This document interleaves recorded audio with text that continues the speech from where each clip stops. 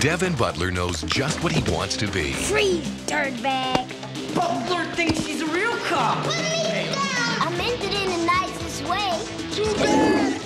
Devon, you gotta stop playing stupid cop games. But when you're a cop, people don't sass you. But now, Young Devon here witnessed a crime earlier this evening. You need me to testify and identify, right? I don't think I like that question. Why? I'd like to cut a deal. What? He wants to be a cop. Why do you want to be a cop?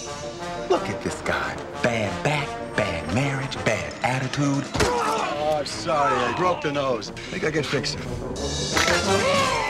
he's seen a lot of action. But he's seen a lot of TV. Haven't you heard about secondary smoke?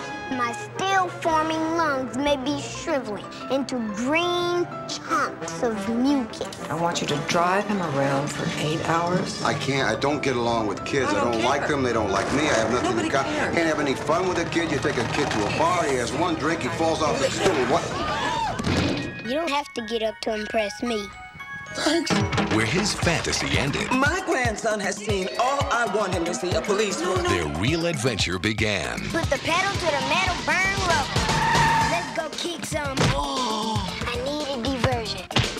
He was a bad boy, boss. He called me Piggy.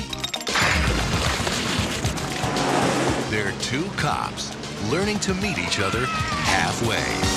That was just like Miami Vice. Burt Reynolds. And introducing Norman Golden II, cop and a half. What are you? I'm your worst nightmare. An eight-year-old with a bag.